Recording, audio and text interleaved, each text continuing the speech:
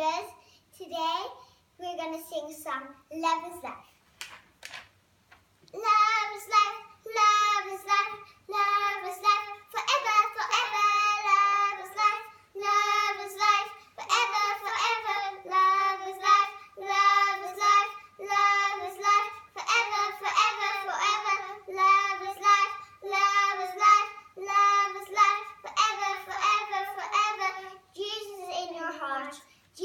in your heart.